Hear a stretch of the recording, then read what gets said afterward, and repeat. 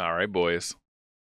You know what it is Godzilla, Kong, the new empire.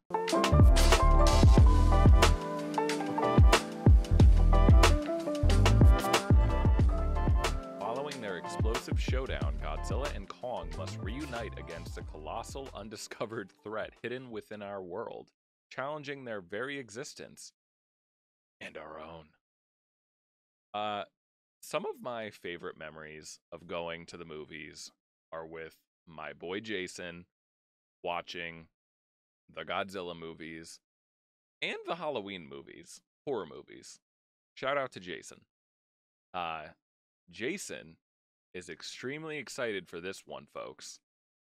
The new Empire. We watched I Okay, Godzilla minus 1 is borderline a goddamn masterpiece. I loved that movie so much. My favorite movie of 2023, Godzilla minus one. That was just in a whole another wheelhouse, right? I I loved that movie. I want to watch that movie again and again and again. I want to see the black and white version. Love Godzilla minus one. The American Godzillas. This is in the.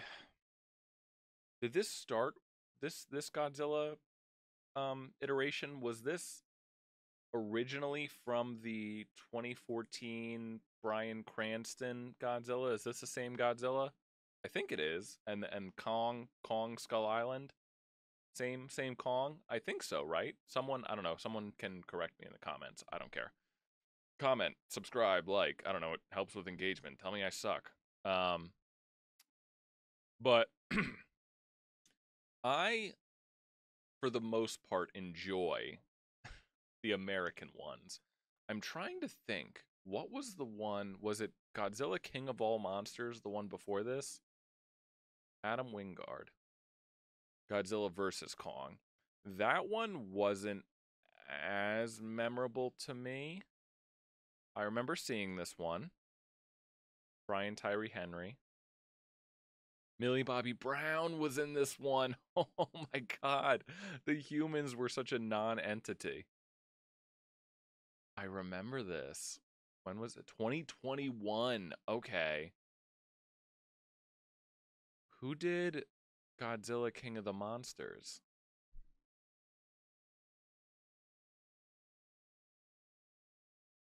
Twenty nineteen. Oh man, feels like forever ago. Got a new director since then. This must be the same Godzilla, I imagine, right? I remember really liking Godzilla King of the Monsters. I thought that one was cool at the time. Um, nothing's going to beat Godzilla minus one for me. Yeah, Godzilla versus Kong. Eh. So this one, this looks like a this poster looks like a GTA promo. so stupid it's is it what I would I would I categorize the American Godzilla movies in this era schlock? Maybe it's kind it's kind of like kaiju schlock, right? It's only going further and further down. You know, it's it, these movies are one step away. You know, from from Vin Diesel showing up in like an El Camino with a Corona and talking about family. You know, like that's where these movies are for me.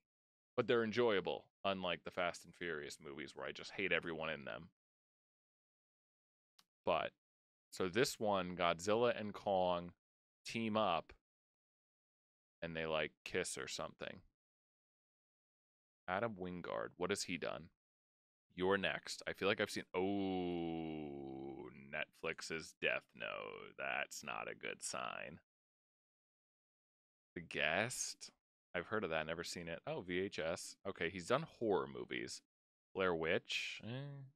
Did a did a remake of Blair Witch. Oh boy. This guy hasn't done much. I mean, I, I it's like one of those movies where like the visual effects and the writers are the real the real heroes in these movies, right, folks? All right, let's let's check it out. I want to see Godzilla and Kong kiss. Official trailer 2. Warner Brothers. It's the fucking pyramids. Let's go.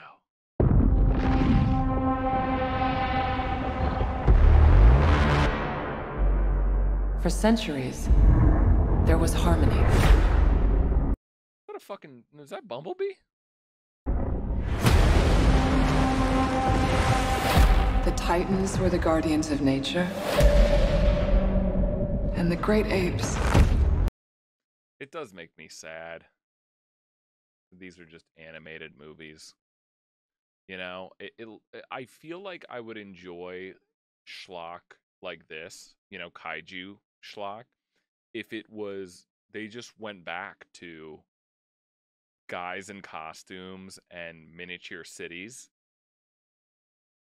because I feel like with the technology today and and what they could do with like stop motion, I feel like they could just make something so much more like special, you know, instead of just ep, it's a animated blockbuster, you know. Not to say that I can't enjoy these types of movies, but it it just makes me think, you know, what could be for a fucking fraction of the budget, by the way.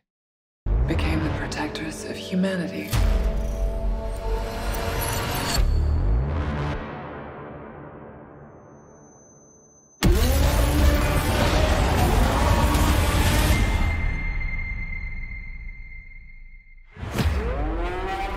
Ooh, they got a deaf character. Are the humans gonna matter in this? Another thing coming. We've discovered a signal. She can feel it. Oh, I think she was in the last. Kong, Godzilla, they can feel it too. Godzilla's a blue boy. Something is coming. Something even they're afraid of. You feel like going for a ride? Thought you'd never ask. Try not to swallow your tongue. What? Oh.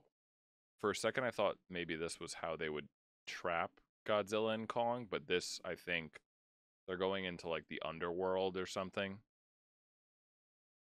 I just. I just don't like how. I hate to be like sounding pretentious, but it is just like a big CGI fest, you know? The entire movie. You can say with most blockbusters that at least when you have human characters to care about, like let's say superhero movies, it can't just be they're not relying on kaijus for the most part. You know, there are humans acting with their personalities behind, you know, the fucking CGI masks.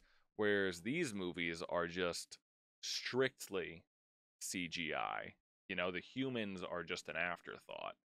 So honestly, like I really feel like I would I would take just guys in in you know poorly made Chuck E. Cheese masks as opposed to just something like this. You know, we we've reached that point where CGI, no matter how good it be, and this doesn't look bad, this certainly looks good, it just doesn't impress anymore, you know? That's the only way that they make these movies. And the more you go with it, the more uh, like the the, the bigger the concept, the more just CGI it becomes. So, I don't know. Oh my god!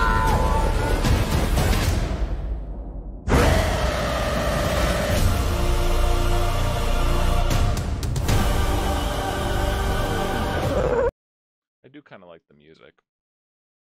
Oh, and we're going with a baby Godzilla or Kong. Um Sure. Is that a mini Kong? Oh Brian Tyree Henry, folks, Oscar nominated. Good for him. I love Brian Tyree Henry. I don't know who this is. God. That's not just a signal. That's a call for war.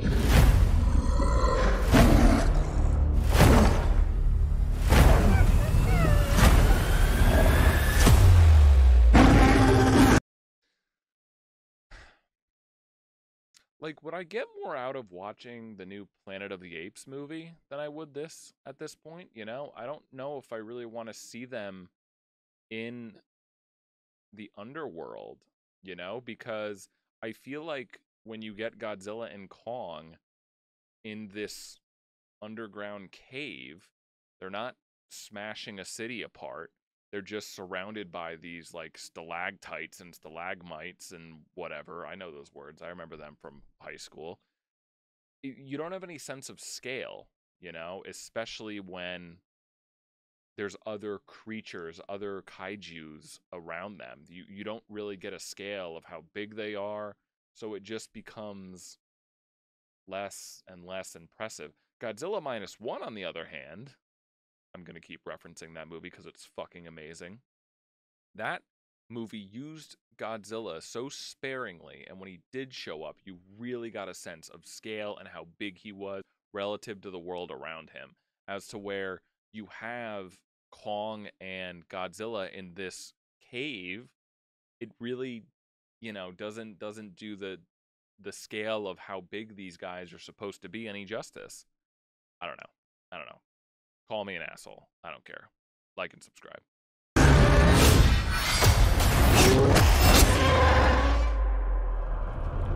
What Are we gonna get Diddy Kong? is that?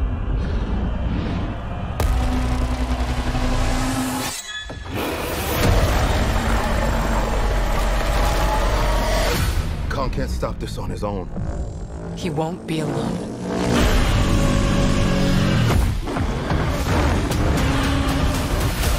There's the meme. Why does this seem so like something about the title seems so Suicide Squad, like Marvel y, superhero y,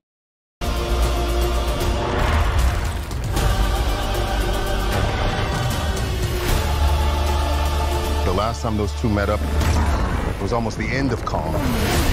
They don't have to like each other. They just have to work together. Now I have seen everything.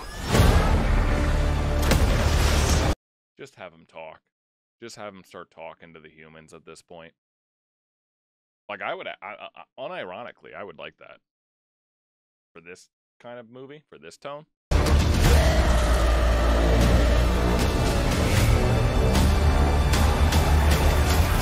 We've made some minor augmentations.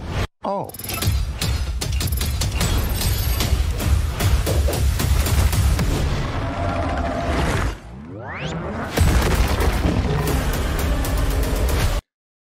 Yeah, just unfortunately, nothing seems cool anymore because it's all animated.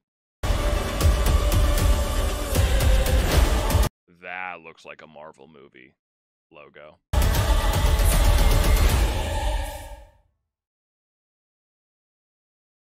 All right. Jason, you'll make it fun.